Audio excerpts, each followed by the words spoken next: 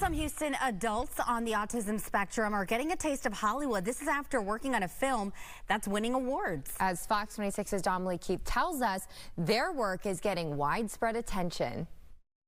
There is certainly something to celebrate here at Spectrum Fusion. You know that film that's winning all types of awards? Well, it was 100% shot and edited by a very special group.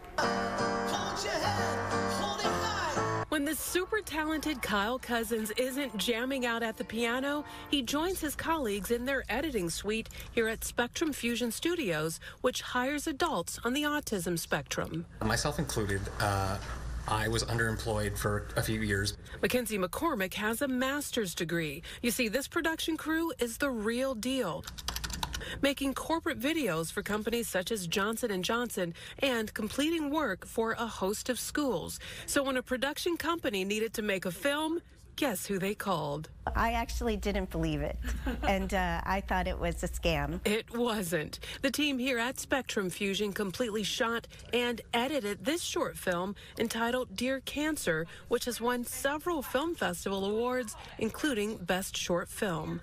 One notable thing in terms of what I did was the audio.